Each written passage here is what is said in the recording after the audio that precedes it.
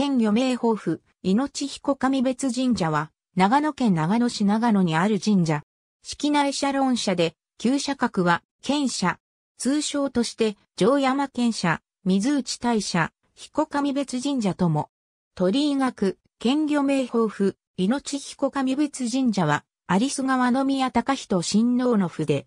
善光寺の東に隣接する城山公園の一角、横山城跡に鎮座する。元善光寺本堂北側に、年神堂としてあり善光寺の守護神であったが、明治諸島の神仏分離に伴い現在地に潜座した。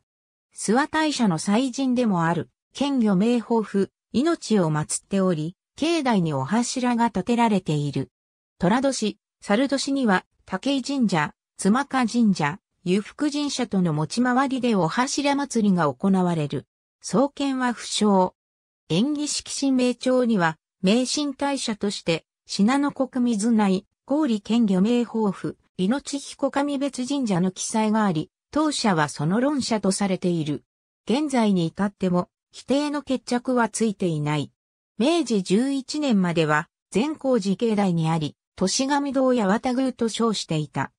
塩分元年成立の諏訪大明神菓子では、年神堂が諏訪大社の文座であり、持統天皇5年に記載のある水内神であるとしている。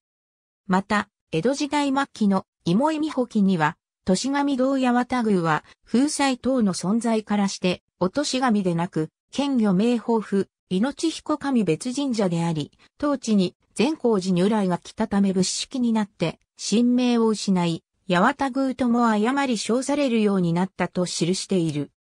当地は、加谷国蔵、金指市の居住地で、水内郡の中心地と考えられ、善光寺の位置からは、善光寺平が望めることから、古社の所在地としてふさわしいと考えられている。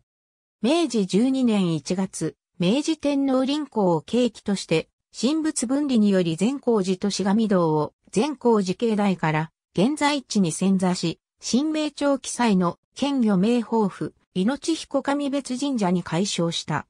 なお、当地に移ったのは祭神のみで、旧都市神堂の本殿は森田内神社に移築された。境内には様々な石碑が立つ。ありがとうございます。